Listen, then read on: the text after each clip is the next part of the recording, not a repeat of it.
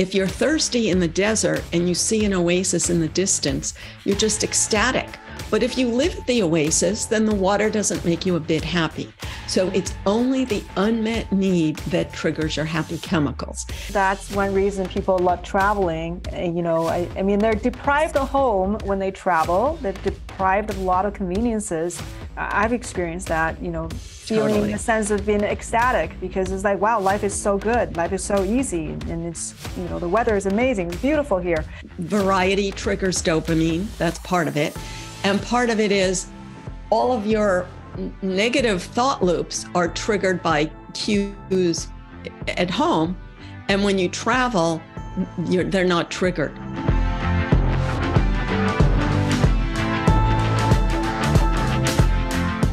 Okay, welcome everybody. I am so happy today to talk about one of my favorite subjects, which is happiness and the human brain and our human motivation and just how we work in the world. And uh, we are a perpetual mis- mystery. So when I heard Dr.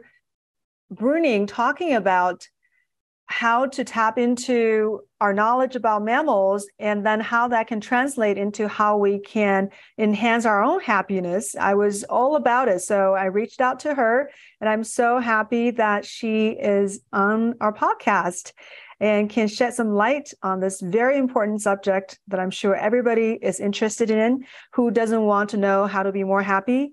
And uh, who doesn't want to understand a little bit more about ourselves?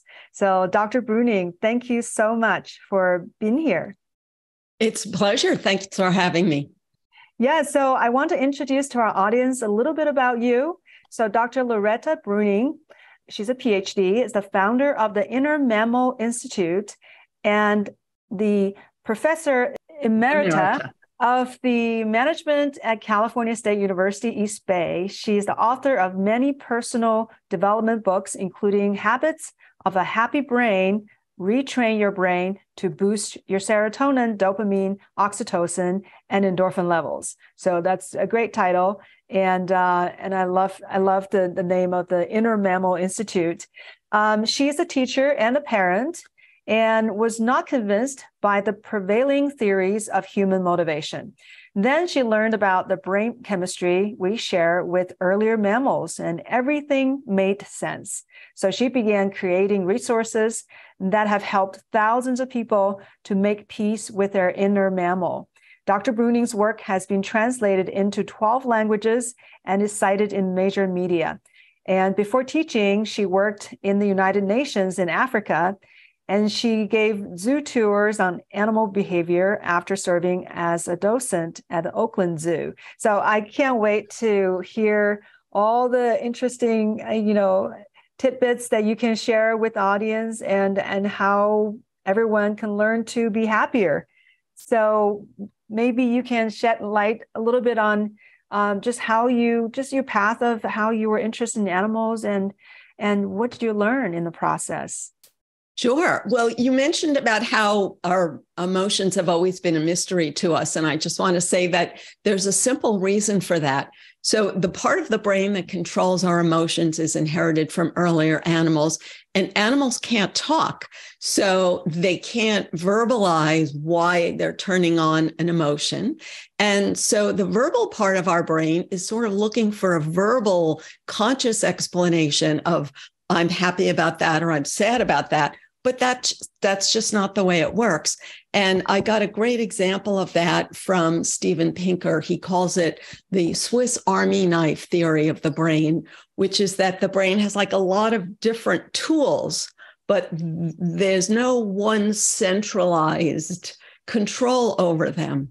So so that was very helpful to me so, um, uh, like many people, I grew up with a lot of unhappiness around me. So, I was always interested in what's going on? Why is everybody so upset? and I searched and searched for answers. And like many people, and like you, I started with academic psychology and I thought, oh, now I'm going to have like the secret to everything, right? and then as the years went by, I saw more and more things that it didn't explain. So I started reading more and more. And I would, when I read about the brain, I'd re- read one little mention of animal brain and another little mention of animal brain, and specifically a chemical, how it affects an animal. And because animals can't cover up and resist or spin their responses, you see how these chemicals affect animals. It's so obvious. And animals have the same chemicals that we have. So to me, that was like the Rosetta Stone of understanding our emotions. Right. And we all came from animals. So before our language developed, probably we were fairly similar in how we respond and yeah. So the limbic system. So, as you know, we have the big human cortex, which is the pink fluffy thing that we see in pictures. But under, underneath that, we have this core brain called the limbic system, which is made of a lot of bits and parts that often get mentioned in the news, like the amygdala and hippocampus. But what really matters is not the individual bits and parts, but the fact that taken together, they control our emotions and taken together, they're basically the same as animals. So, whenever you're doing something an animal could do, you're using your limbic system, which includes like breathing and um, interacting with others and making decisions about where to invest your energy. So, you're always using your limbic system. And it's crazy when people give you the impression that you shouldn't let your emotions control you, because in fact, your emotions, your limbic brain controls your body, and your cortex can only access your body through your limbic system. So you can only do something if you get your animal brain on board. You can't just circ, you know, cross circuit, and you know, circumvent it. Hmm. Okay. So, do you think animals experience happiness? Oh, good question. So, the simplest answer would be to say that if a hungry monkey sees food, the happy chemical turns on and says, Yay, that's going to meet my need. That's going to relieve my hunger. And that's the feeling of dopamine. And that's that feeling we have like all day that we're looking for is that, yay, that's going to, that's going to meet my needs. That's going to fulfill me.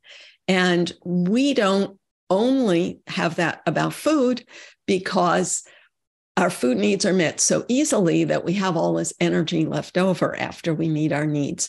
And also in the monkey world, if you watch nature videos, you see that monkeys are quite picky about who they mate with. Mm-hmm. And so those chemicals are involved in motivating action to um, improve their social alliances. Okay. So I mean, I definitely I could see how my cats are happy when when you mean that you definitely see the behavior. So I, I assume they will have some complex emotions as well. Um, and um, so how how do we learn from how they experience the emotions and how does that translate into whether or not humans are happy or how can we get happier so we have how our verbal brain defines happiness and how our limbic system defines happiness. And as you know, you can philosophize all day, but if you're not having the chemistry, then you're not feeling it. So it's all about what it takes to trigger the chemicals. And we know that the chemicals are controlled by neural pathways built from past experience. When I say we know that, in fact, nobody says that in academic psychology. That's what baffles me. And that's why I focus on that so much. Um, and ex- I explain it in all of my books. So the bottom line is that the things that turn on our happy chemicals are a mystery to us because they're not what we would consciously choose to get excited about, but it's whatever got you excited when you were young. And this is why we're all challenged to navigate life with these old neural pathways leading us toward things that made us happy in the past, but we know may not be good for us today. So the way we usually deal with it is by putting too much faith in our verbal brain and believing some grandiose philosophy about what should make us happy. But because that's not connected to the actual happy chemical circuits in it, your if it's not, then it doesn't feel good. So what I talk about is making your two brains work together like a horse and rider. And first, that means that the rider has to accept the horse, and the horse has to trust the rider. So the uh, so that sounds very abstract, but the bottom line is if I'm telling myself, oh, well, I don't really care about this and I don't really care about this, I only care about that.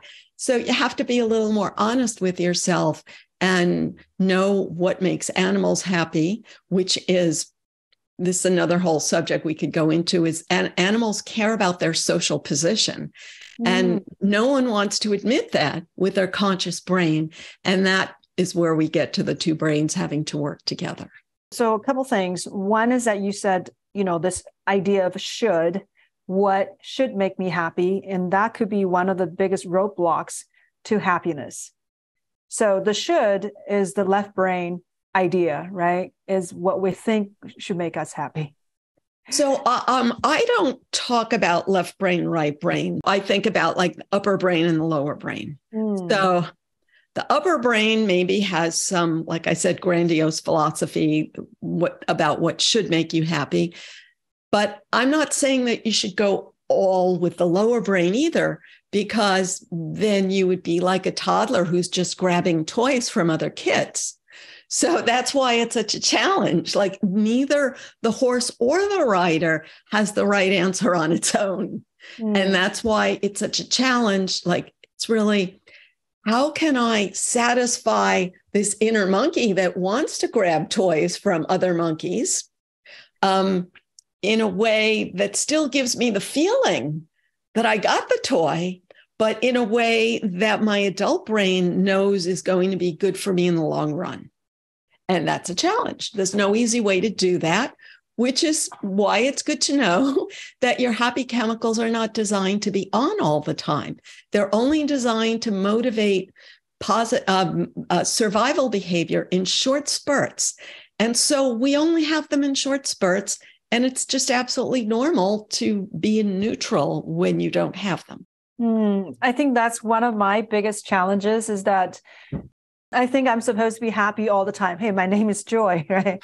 my Chinese name has the same meaning. So I'm kind of hung up on it. I, am supposed to be happy. So where's the happiness? What about now? What about this moment? If I'm not feeling happy all the time, am I failing myself? Am I not enlightened okay. or not together? You know, that's that was that's what I've been struggling with. Um, that if I'm yeah. not happy all the time, maybe I haven't reached the level of um, you know wisdom yeah, that's a great question. So there's two things. So one is that when our happy chemicals are not flowing, we may surge into stress chemicals. We often use happy chemicals to mask distress. So, the simple example would be let's say a young child is in a bad situation and they rush to their video game to block it out. And so we build that habit of I have to rush into something to block out unpleasant thoughts. So if that's the case, then we can all build new. First, we have to become aware of that pattern, which is a real physical pathway, and then that we can rewire it so that we can um, reduce that surge of neg- negative thoughts without rushing into the unhealthy happy habit. Hmm. But the other is to know that there's a neutral, like a neutral gear in a car between happy and unhappy, where you don't have to rush into the next happy thing because neutral is actually a higher state in the sense that when an animal is making a decision, should I go toward food or should I run away from a predator? And before it can make that decision, it has to take in information in order to make the correct decision. And with our big brain, we take in more information. So some people take in too much information and never make a decision. Other people um, act before they take in information. Mm-hmm. But like in between is, well, I'm just going to pause for a while to take in information. And then I'm going to decide where is the next best investment of my energy? And that's the job our brain evolved to do. Interesting. So that's almost sounds like somewhat Zen state um, that you are an observer Yeah, that may be a place of great wisdom, I guess. yeah, yeah. But also, I can see how people have been sold this idea that it, you should feel great all the time. Other people are feeling great all the time. You could possibly have pressure from someone to feel great all the time or a sales pitch like if you only go for this or this or this that you'll feel great all the time so it is hard to resist that but even harder to resist i think unfortunately for young people is to jump to the conclusion that you have a disorder if you don't feel great all the time mm. and if mm. you're sold that idea at a young age then it's even harder to to accept this neutral gear you know yeah, yeah, that's so interesting. And you just reminded me of my, my medical school days. Boy, were we all competing for how great our weekends were and just how happy we all are and I, it's, uh, I mean, I really didn't want to participate, but I could see just everyone. Guess what I did this weekend? I had a most amazing time. Oh, it was incredible. Everybody is just showing off how great life is. That's such a good example. You know why? Because when people do that today, everyone blames social media. And I always say, no, this existed long before social oh, media. Yes. So yes. that's such a good example. I know. And I'm sure a lot of people who are in neutral states, they will be like, well, I seems like I'm deficient. I didn't have an incredible weekend, right? I'm not, you know, it's so exuberant that I'm, you know, I'm just overflowing with happiness. Then they may feel like less than. You know what? And I'll give you a great idea. And this relates to aging. There was a certain point in life where um, like on a Saturday night, all I wanted to do was go to bed early with a book. And I was so glad that I had the power to do that. And yet, I, you know, you have a little bit of leftover feeling that, you know, you should be doing something else. And then I thought, what greater reward is there for aging than you could just do what you actually literally want to do rather than feeling like you should do something that might impress somebody? Right, right. I I love the idea of this, you know, neutral state. So, what is I mean, you're saying we only have little spurts of what's called happiness, and the most of the time, it's a normal it's a normal way of existing to just be neutral and just taking in information. And yes. what what what is it? Ninety five over five percent is that uh, oh, okay. That's a great question. So I don't know if I could quantify it, but let's look at the hunter gatherer example and then it will be obvious. So our hunter gatherer ancestors, they never knew where their next meal was coming from. So they're hungry. So they look around for food. When they see food that they think they could get, dopamine turns on. It's like, great. Wow. Look at that delicious fruit in the distance. Once they get to the fruit, the good feeling stops because it has already done its job. And it actually would not be good for them if the good feeling continued because then they just hang around at the same fruit tree forever and wouldn't go out and meet other needs. Then they wouldn't get protein or water and they would die. So the value of dopamine is that it stops once that particular need is met. And you have to then meet another need to get more of it. And this is why people complain about feeling like they're on a treadmill. So all of those people, the way they got to be in med school was by you know, achieving one goal, achieving another goal. So nothing is going to make them happy until they actually learn how the brain works.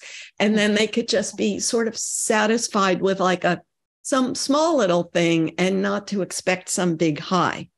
Mm-hmm. Now, if I can mention the other chemicals, because it's even more so with them of the short spurts. Oh, the other thing about dopamine, so it habituates to whatever reward you have. So the simple example would be if you're thirsty in the desert and you see an oasis in the distance, you're just ecstatic but if you live at the oasis, then the water doesn't make you a bit happy. So mm. it's only the unmet need that triggers your happy chemicals.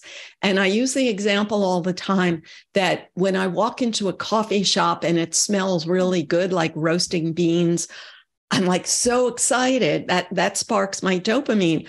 But if I just got a job in the coffee shop and spent my whole life there, then it wouldn't make me happy because your brain habituates to whatever rewards you have. Hmm. I'm wondering if that's one reason people love traveling. Eh, you know, I, I, mean, they're deprived of home when they travel. They're deprived of a lot of conveniences when they travel, and uh, well, that's just part of it. I, I think I've experienced that. You know, feeling totally. a sense of being ecstatic because it's like, wow, life is so good, life is so easy, and it's you know the weather is amazing, it's beautiful here. Absolutely. Yeah. So part of it is because um, all um, variety triggers dopamine. That's part of it. And part of it is all of your negative thought loops are triggered by cues at home. And when you travel, they're not triggered. For a person who loves travel, which I do, other people hate travel. Um, and I've noticed, like, for example, I actually enjoy getting lost, whereas other people hate getting lost. So it's all very individual and depends on your past experience. Yeah. And um, another point you mentioned was this social position and how that affects our brain chemistry. So I would love to hear more about this. Sure. So there are two different social chemicals, oxytocin and serotonin.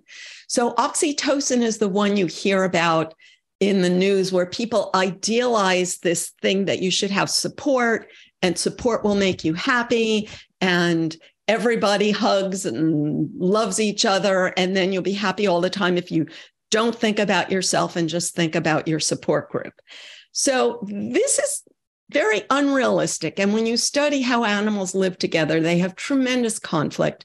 And i explain this in all of my books and my new book why you're unhappy goes into even more of it. It's it won't be out till next year. Um, but bottom line uh, oxytocin is the good feeling that it's safe to lower your guard. And if you hugged people you didn't trust, you would not get oxytocin. So it's not just about hugging people, but it's about carefully understanding what you need to lower your guard and then finding safe ways to give it to yourself. And then even when you succeed at that then you'll habituate to that and look for you know this is why when a person has support like it's not enough then they want some new kind of support. So that's how the brain works to it motivates a monkey for example to groom the fur of another monkey to build that social alliance and we're always looking for more ways to do it because that's what works in the state of nature. You keep looking for ways to strengthen that social support. Now, that's very different from serotonin, which is the idea that once a monkey has a social troop, it, it, if you find a new troop, you're at the bottom of the hierarchy. And the, the monkeys at the bottom don't get mating opportunity. So they have to raise their position in the status hierarchy in order to keep their genes alive. And that's all our brain cares about. It's always looking for opportunities to do things that will spread your genes. Raising your social status spreads your genes. So this is why people go crazy over minutia to raise their status because that's the brain we've inherited. And it's so clear in the nature videos of David Attenborough, especially his old ones. And as you know, it's like not polite to talk about this. And that's why I've written so many books about it. So, this is what um, triggers our serotonin. And this is not at all what is um, explained in the popular literature or the academic literature on serotonin, but it was widely discussed in the 80s. And so I put that on my website and I, uh, I've collected all those books and I've written a lot about it. Hmm. You said it's not polite to talk about social status and, and how we have an in our nature to raise our social status. And it's not polite to say that raising your status makes you happy, which everybody knows and everybody does it in their own way. So everybody says, well, my way of raising my status is much better. And those people who raise their status in that bad way, I don't do that. Right. yeah, right, right. So everybody, it just it, is better to accept that's that's nature that we've inherited from just being mammal. That's what drives animals to to be happier is to build a social connection and and partially is to raise their own status. Be interested in like how i learned about this. It's it's an amazing story. So of course i was reading books and i was watching nature videos but part of my journey was i discovered these monkey zoos in france mm. that are monkeys only and they have a docent talk. I, I, worked at as a docent at a zoo, so so I know about these things. But in France, they have a docent talk twice a day at each monkey, and they tell you all the stuff that like is not talked about here, including this social hierarchy. So the first time I went, it was all in French.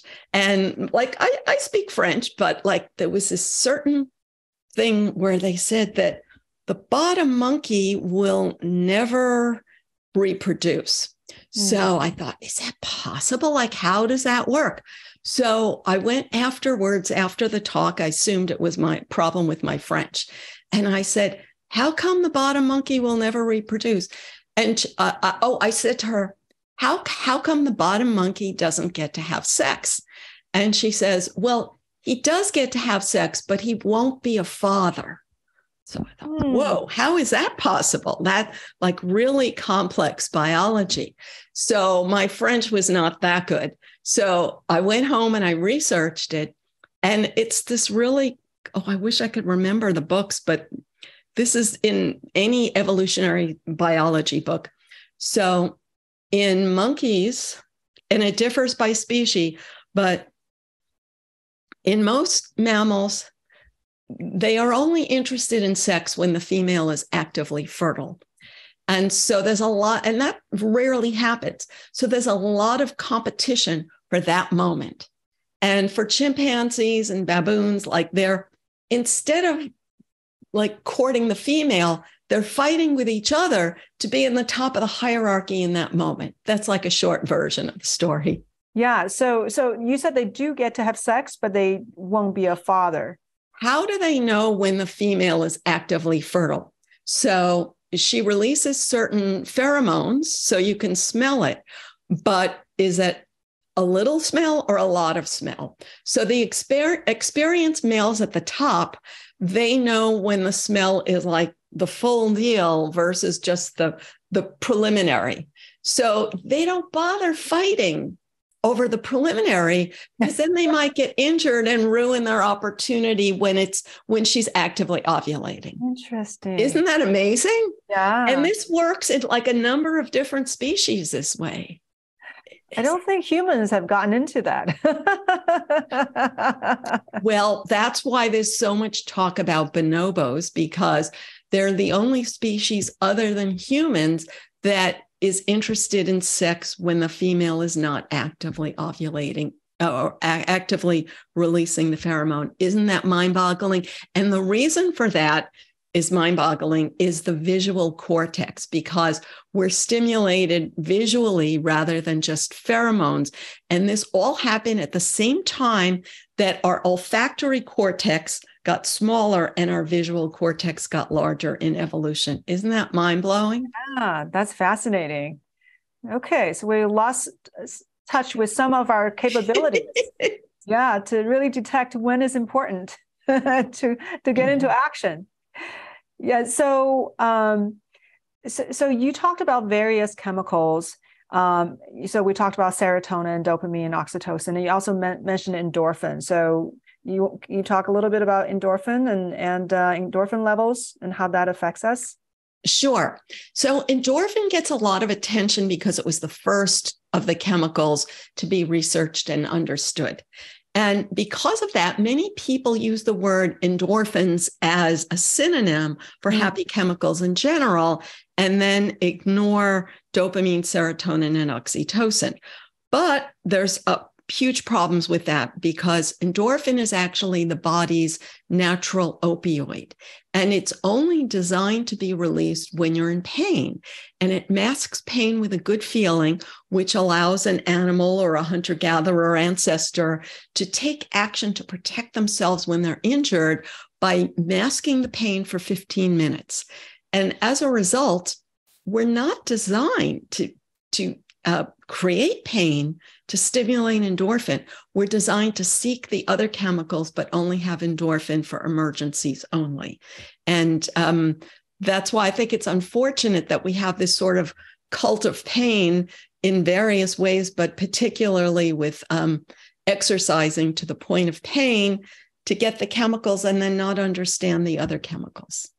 But I wonder if um, that re- endorphin high, you know, what what the evolutionary advantage is. I, I assume when the animals are running from the predators, exactly. uh, they they get a high too. Uh, yes, but even worse, if you see on some, this is what some, the first person explained to me.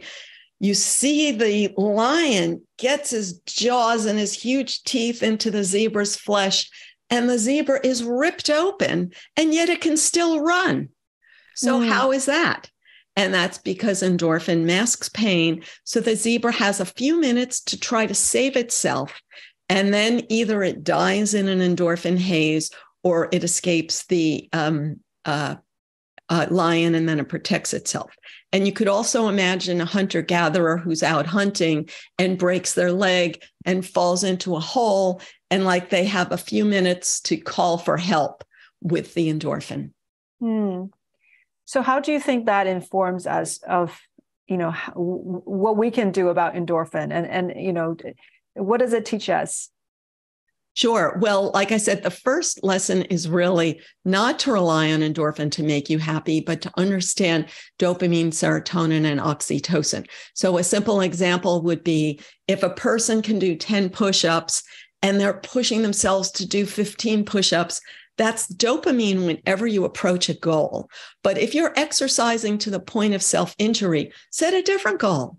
So, that's the first thing. Now, if you're getting oxytocin at the gym, but you're exercising to the point of pain, then understand that you're getting oxytocin from the social bonding and find a different way to do it, which also applies if people are getting oxytocin at a bar and they're drinking too much to understand that it's it's not this it's that mm-hmm. and finally if you're getting serotonin by feeling like my muscles are bigger than your muscles but you're ruining yourself to do that to know that you can get pride in many other ways. So that's the main answer. But it's also useful to know that you get a little bit of oxytocin from laughing. So I always like to um, watch some comedy every day, and especially when I have something challenging in my life, to have some comedy planned and saved for afterwards so that I know that I always end up on a happy note when I might be stressed. Oh, that's a great trick. Yeah, that sounds really good. So um, I'm interested in knowing because I, I I love animals and I think they're so fascinating. They can teach us so much about who we are. Um, so, and for you to have worked in a zoo and to have studied animals, I would love to hear some of the interesting stories that you've you've you've had, you've seen, you've observed. What um, anything you can share with us of interesting behaviors? Okay, yeah, I'm. Uh, I have one that I'll share with you privately, okay? Because I, I think they get upset with me if I spoke about behind the scenes information in public. But I'll tell you two great stories. Um, when I take people on a trip, a tour of the zoo, and we look at these squirrel monkeys, and you watch their eyes, they are looking for food every second, like watching, watching, watching on the ground. And they're fully fed by the zookeeper, so they're not hungry. Huh. But every second, they're watching for like a little bit of movement that they can leap at an insect. And so this explains first like why do i get up and go to the refrigerator when i'm not really hungry? Because my brain is designed to look for food all the time. Mm. and the other thing is although they're not really hungry they're quite competitive. So when they see another monkey get an insect and it's like oh darn i could have gotten that one. So that motivates them to really you know. So it's so useful to understand yourself and really to free yourself from that thought loop mm, yeah i remember you mentioned a story oh, you, you were talking about how animals are so similar to humans. They crave social connection, but when they get together socially, they get easily annoyed. They're, they're annoyed that they, someone is taking the space and someone is doing something that's they don't like. So that that just sounds really, really yeah. Well. Yeah, yeah. So um it's a little harder to see that at the zoo.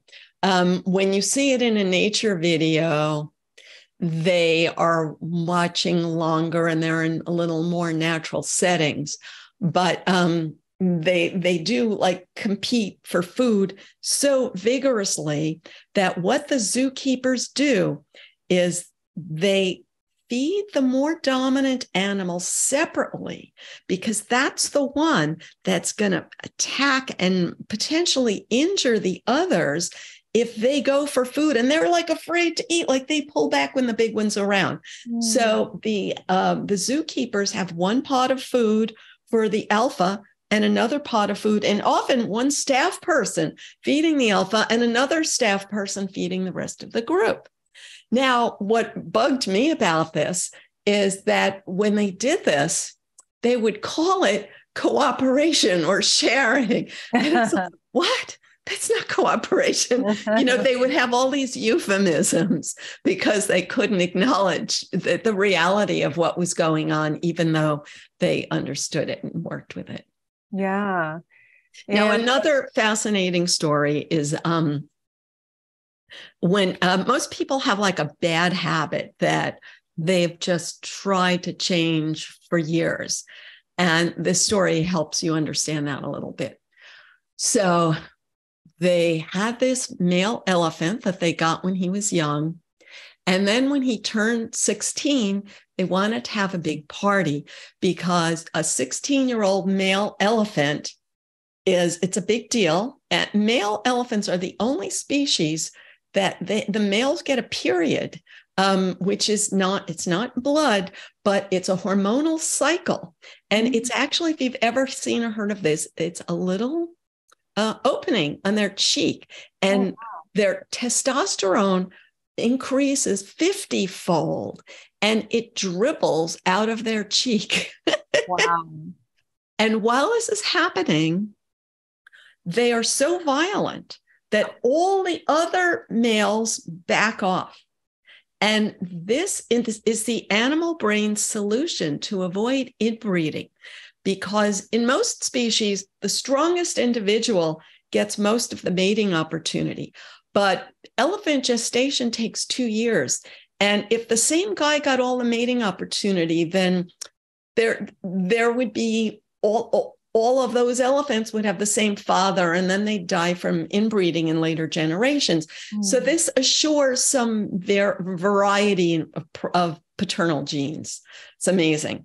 So, um, but here's what happened. So at the zoo, they had a birthday party for this 16 year old elephant.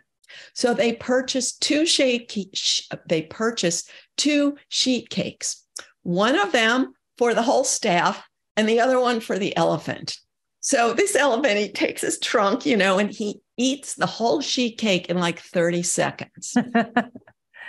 now, you need to know that elephants have a very poor diet. So they actually eat tree branches. And it takes, they have to eat for 16 hours a day in order to get enough nutrition from the tree branches. And they have a very inefficient reproductive system. So half of what goes in goes out. And so, in order to get the amount of calories in that 30 seconds, it, they would have to eat for like a week. Hmm. So it's really like cocaine in the sense of getting like this huge surge of dopamine all at once from this enormous reward, which is like a week's worth of reward in in a few seconds. Yeah. Um, so that big rush of dopamine, it wires the brain. So our dopamine is not wired by conscious analysis. It's wired by linking all the neurons active at that moment. So that means whatever's going on in the moment when I have this great jackpot reward, I link those neurons. And in the future, when I see anything linked, it turns on my dopamine. I'm like, I want that. So this is how we're all wired. Mm-hmm. Yeah. So so what happened to the elephant after? Oh, people debate with me about that, but so two things. One is um, let's just say that if if that was if there was a supermarket logo near that cake, I bet the elephant would recognize that logo. But in the reality of their daily life, they're just responding to the cues they have. However, um, there's a once a year celebration where the public is invited to bring special treats to the elephants. And what they do is they they pen the elephants up in a corral and they allow the public into the elephant area uh, to set down their treats. And people bring all kinds of things. Sometimes they bring a bag of vegetables and things like that. Well, then the po- people leave, the elephants come. So the elephants sometimes they just hog like the whole bag. They eat the paper shopping bag and everything and just gobble it in all at once. And there's one of them. So they're picky. Like they first they go for the sweeter things. Ah. so then once all the sweeter things are gone, they don't want to waste time because then another one will get it. When all the sweeter things are gone, they go for the less sweet things. Well, one of them, the bigger, stronger, it hogged three watermelons, one in its mouth, one in its trunk, and one under its foot, because the watermelons are the major sweet reward. Oh my goodness. That's so funny. Very cute. Yeah, and you mentioned something about um, us having wired our brain when we were young. The the rewards were, you know, we're responding to the kind of rewards that we responded to when we were young, and this is hardware wired. And how do you think that affects our adult life? Sure. Well, the simple, most common example uh, that I hear from so many people, they um, they say, um, "My mother would give me candy when." Like either when she was in a good mood or when I cried or when I studied. So then your brain is wired to either for crying or studying or um, looking for, or like wanting candy because that's like the only time you associate with getting love. So that's just a very simple example. Uh, for most most of our circuits, it's not that obvious. So we have to mm, put in a little effort to understand. I'll just tell you a funny example I use in my book. I, I like color. And I learned, I, I realized like how that was like something that I got rewarded with when I was young, in the sense, um, like my mother didn't give me very many choices, like in my life. Like I was forced to do a lot of things. But she allowed she allowed me to choose what color I wanted to paint my room and certain things like that. So so um I had like and then when she got to buy a, a new couch, she brought me with her and and showed me all these color swatches and asked me which one I liked. And it was like the first time she ever asked my opinion and like respected my opinion. So it's like all these little examples. It's like, oh, wow. So it doesn't have to be something good or bad, it's just a pattern. Okay. So in our adult life, um, you're saying that if I was given a candy when I cry or cried, um, I may be crying using crying as a way to to get some kind of reward. Yes and it's of course it's not conscious. And as an adult you probably are capable of of withholding the crying but it's that mm, feeling like you're about to explode um, that maybe comes more easily than you want it to in the same types of situations that your mother would have responded to. And how can we broaden the type of stimulus you know the type of things that can bring us happiness that can make us seek or or or feel happy. Um you know comparing to you know not to be locked in by what we had when we were kids this is the huge challenge. And this is the reason I created the Inner Mammal Institute for people to better understand their power to build new pathways to their happy chemicals, which nobody talks to you about in the whole like therapeutic culture. And it's not easy. And yet, on the other hand, in a way, it is easy. So it's really anytime you expose your brain to new rewards with repetition, you can build new pathways to seek new rewards. But in a way, that's sort of a catch 22 because you're like, well, but if I don't enjoy that reward now, why am I going to repeat it? And why am I going to think that it's going to feel good later on if it doesn't feel good now?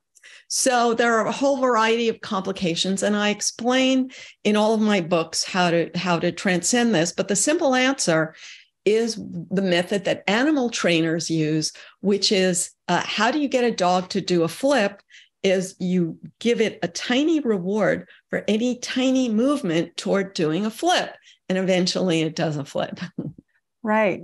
That's kind of like building good habits. Yes. how you can reward yourself to build good habits. Yes. That's interesting.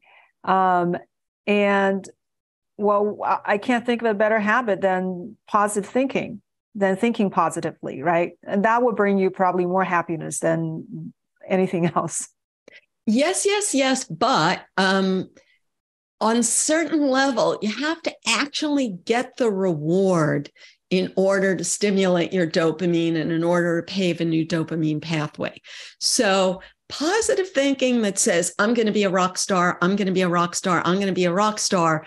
If you never actually see yourself, or I'm going to climb to the top of this mountain, if you don't see yourself getting closer to the top of the mountain, you don't get the dopamine. So that's another one of the challenges in this whole rewiring uh, method. So actually accomplishing goals. Realistic yeah. goals, realistic goals. Yeah. I'm just wondering in, in real life, if someone wants to nurture the habit of, you know, having a, a good feeling, uh, having a, you know, positive attitude uh, instead of negative thoughts, you know, maybe every time when they can stop their negative negative thoughts, they can reward themselves somehow.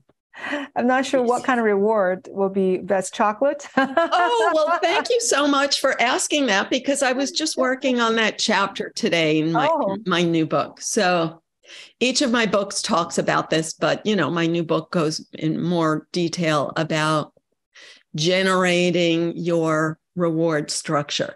But um, I have a book called Tame Your Anxiety Rewiring Your Brain for Happiness that talks a lot about how to shift your focus from threat chemicals to reward chemicals and developing a healthy reward structure. Mm, wonderful. Yes. So people can go and find your book the, and the, what so the core introductory book on this it's called habits of a happy brain retrain your brain to boost your serotonin dopamine oxytocin and endorphin levels. Wonderful. Um, so what are some of the parting wisdom that you can you know nuggets that you can give um, you know the audience about you know what you have found to be really helpful for people to improve their level of happiness? You know knowing that you know we we came from this you know long history of being mammals. Well i think self um, um, self acceptance is so important. So we always hear about self improvement but when you talk about self improvement you're focused on your own flaws. So self acceptance through watching nature videos in my opinion is, is very valuable and uh, it also helps you accept the people around you rather than getting upset with them all the time.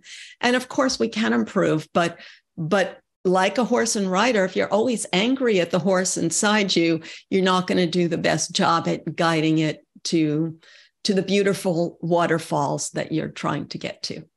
Mm. So self love, loving who you who you were born to be, and just yes. be at peace. Yes. Yeah, wonderful. I love it. Thank you so much for a very interesting conversation. And I hope the audience, you know, find very useful, you know, bits to help enhance their own lives. And uh, what's the best way that people can reach you or can, you know, be enlightened by your knowledge? Um, InnerMammalInstitute.org is my website, InnerMammalInstitute.org. And if you leave your email, you get a free five day happy chemical jumpstart that explains e- each of the chemicals in one, e- one email for each chemical for five days. And it explains all of my books and all of my resources, which mostly are free. That's wonderful. That's a lovely gift. Thank you, Dr. Breuning. I really enjoyed speaking with you, and thank you for the great stories. Sure, you're welcome. Thanks for the great questions. Oh, thank you.